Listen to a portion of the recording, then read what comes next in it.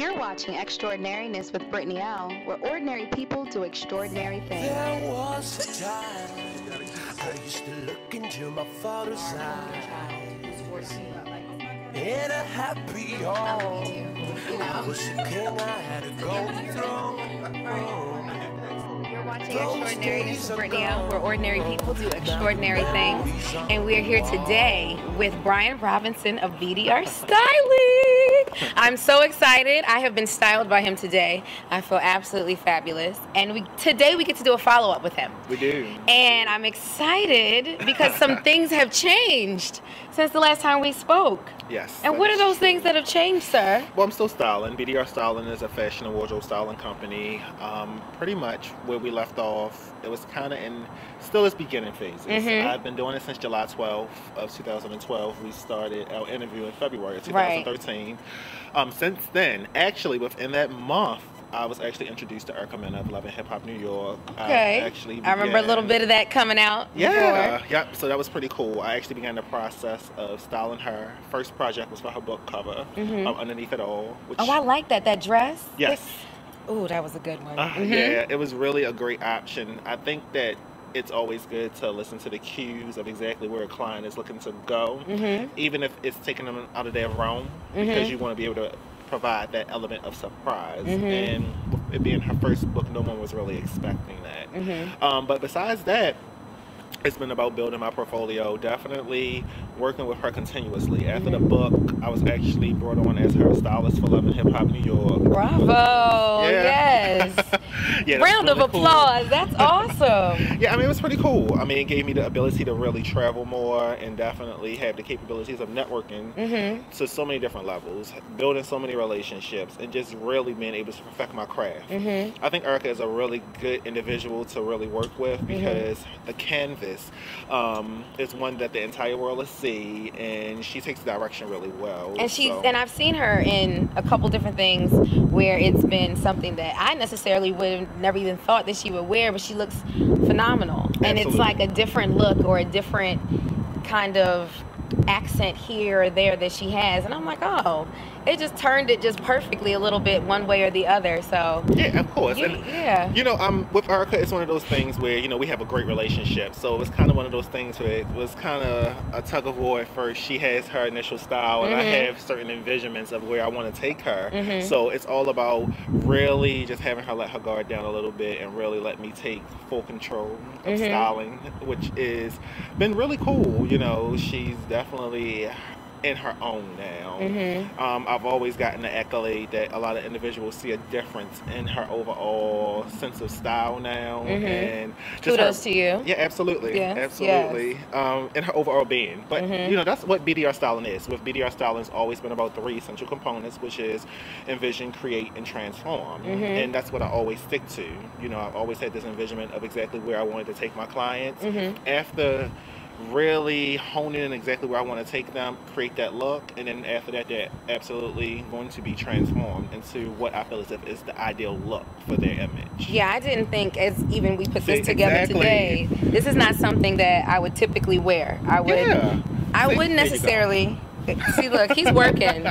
like he's got me all together. I would never necessarily think, first of all, if I went in a store and saw all of these different pieces separately. Yes. I might be like, oh that's cute or oh that's nice. But I would never see it put together and then think, that's what I'm gonna wear today. Exactly. So you do have an eye. You really have a gift that Yeah. is like I can grab it and make it happen. Yeah, and the funny thing is, with this top that you actually have on, this crop, um, and it actually has a little bit of polyester and a little bit of cotton Mhm. and a little bit of nylon.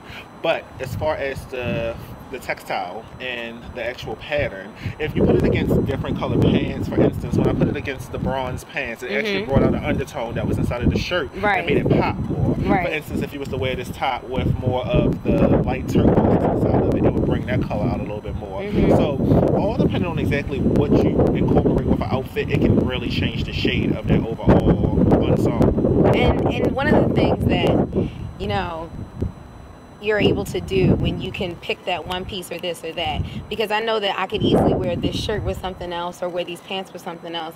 But you know when you transition and you're working with somebody who is on television or this and they want to uh, give a certain appeal I like that you're able to push a boundary that you may not have necessarily stepped into originally. Because I'm like, well, do I love dresses? I'm usually the dress girl. So having on pants and like they're kind of like a little short and having heels on, I'm like, I still feel like myself. But you gave me a new avenue to kind of you know work within. Absolutely. And like you said, Erica, she's kind of in a place now where I do see things that she wears. She does look very different, and it, it is very like I love the book cover. Like I remember, I think it was a purple dress. For that one, it was, it- a black and white. was it black? It was Okay. black and white. You remember all the images though, because it was constant, constant, constant, just behind the scenes pics. And her second book is actually about to come out, which had a lot of different outfits. So it's Mhm. tons of BDR styling throughout the book. Oh. So it's gonna be really cool. published and whatnot. Go ahead, go ahead. and and now that you sit here, and I mean, we're what eight months ago. yeah. We were having a conversation about. So these are things coming up. These are things I'm going to be doing, and now to actually be doing it. How does it feel? Like how do you, you know, look back at the footage, and then you remember we were sitting on the steps of your childhood Yes. home, reminiscing about who you were and that moment of inspiration and when you felt free and the, the pole wasn't there anymore but that hole was still exactly. there Yes. And- yes. so reminiscence of my childhood. right so how does it feel now looking at where you are It's scary.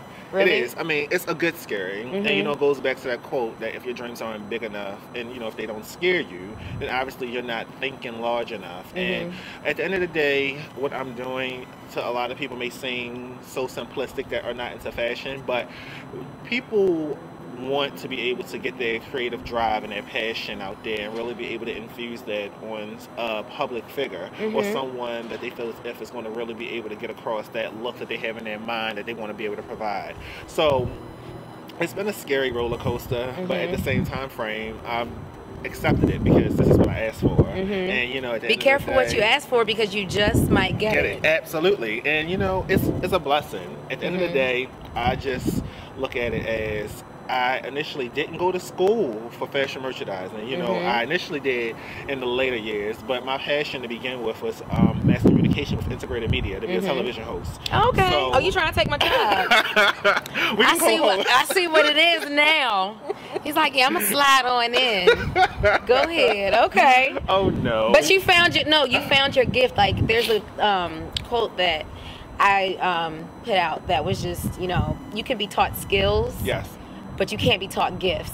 Absolutely. And when you engage your gifts, that's where you can learn skills that will enhance it. Exactly. So a lot of people will engage so much time into I got to get this degree or this certification or this because they think that that's going to make whatever it is that they want. But your unique gift is that twang you put to it that spins it and then makes it like this. That makes it what Erica looks like. That makes it like what you have on right now because I want this shirt myself. But that's that's definitely what it is. You use your gifts and you definitely have. I'm so proud of you. I'm so glad I've been a part of this journey with Yes. you because it's just like I told you it's true. Put it in the universe, believe it, and say it, and it'll happen. that is absolutely true. And you're a living example of that right now. Yeah, and I appreciate all of the accomplishments and all of the opportunities that have come my way.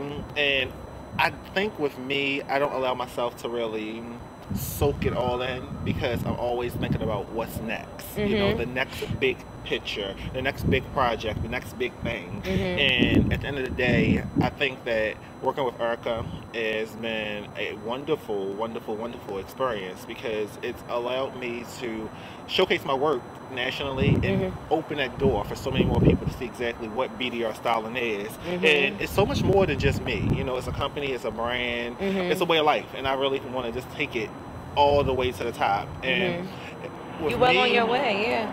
You know, it's like I just completely my key to success. I really feel like is just do you. Don't worry about what the next stylist is doing. Don't Mhm. try to mimic certain things. Just really go for what you feel as if is your passion, your heart and soul, and infuse that. And the way I infuse it is through garments. You know, doctors do it through, you know, schooling to actually treat patients, lawyers, win cases. You want to be at the top of your game. For Right. me, it's about making sure that I can solidify a look and making sure that I can stamp it and get nothing but accolades that someone actually looks phenomenal and something that I put together. So I have to say that I am extremely proud of you. I am overjoyed that I was able to be a part of this journey with you. I'm excited for the next steps that are coming. I'm excited for premieres of shows and all the wonderful things that are going to be coming up. And because you are clearly an example of when you put something into the universe, when you speak it into existence. It can happen. Absolutely. What's some advice that you would give or that you would leave with our audience that's watching? Um, I think for anyone that's trying to enter the world of styling or are interested in fashion in general, just follow your passion. I Mhm. mean, for me, for instance, it wasn't my first choice as far as career, but it was something that I was actually drugged into, um, dragged into, um, just from my love of garments and just with individuals just asking me, okay, this looks good together. How can I do this? And you know, being on um, production sets and just Mhm. seeing how people really piece it together, it really provided me with the passion to really want to do it as a career. Mhm. Um, one thing that is going to be coming really quick is I am going to be going ahead and doing workshops, BDR styling Oh, workshops, okay. where it will be completely blasted through social media, where you can sign up um, and actually get a crash course on exactly the fundamentals that are needed in order to actually be a successful fashion stylist within the industry. That's awesome. And that's wonderful. Then you can give back and teach and tell others. It's nothing to have a gift and then not share it and not tell others how they can become better within themselves. So I commend you. Oh, thank you. Bravo. Thank you. you are definitely an awesome person. Thank you. And thank you for joining me again You're more than welcome. in this beautiful background, this beautiful space that It we're is. in. I mean, it's absolutely awesome. Stadium. It's a sentimental feeling, It right? is. Baltimore, you know. exactly, It's- exactly. It's home. Exactly. And Love thank it. you all for watching and stay tuned for more to come up. We will see you later. Bye.